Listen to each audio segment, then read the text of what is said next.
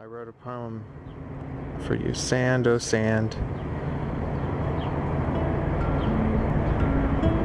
I stand upon this land. I dig my hand into your burning maw.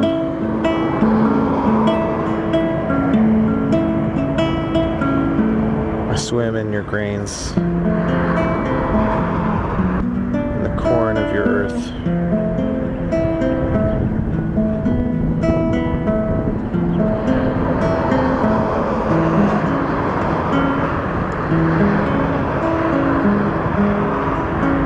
But I shall not serve you. As the lizard serves. As the snake deserves.